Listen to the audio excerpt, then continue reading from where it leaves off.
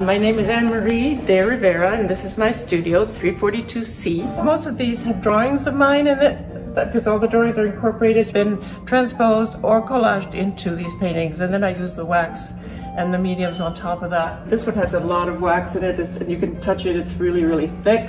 Uh, this is all wax and it was on a piece of plywood that was my garage. Completely in chaos and it was, it was reaching out, it was flooded everywhere. And so I called this painting Reaching Out. I was amazed at how it it came out and into this rubble like wanted to help. It's just a really, really nice community to be in. It's, it's wonderful. It's wonderful for me. I don't really know what I know, but I know a lot more than I think I know. And painting has been that avenue for me to, to be able to let that knowledge flow freely as long as I let go of fear.